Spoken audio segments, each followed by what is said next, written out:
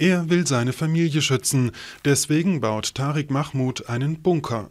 Er lebt im Nilemtal im pakistanischen Teil der Unruheregion Kaschmir, nahe der Linie, die de facto die Grenze zu Indien markiert. Zuletzt hat es wieder vermehrt Schüsse gegeben von beiden Seiten. Dabei wurden auch Zivilisten getötet. Die Leute haben wirklich Angst seit dem Ausbruch der neuen Gewalt. Wir bauen diesen Bunker, um unsere Kinder zu schützen. Kaschmir ist seit dem Ende der britischen Kolonialherrschaft 1947 ein Zankapfel zwischen Indien und Pakistan. Beide Länder erheben Anspruch auf die Region, und zwar auf die gesamte. Zwei Kriege haben sie deswegen schon gegeneinander geführt. Nach einer Phase der relativen Ruhe gibt es nun wieder ein oder zweimal in der Woche Gefechte, erzählen die Menschen hier.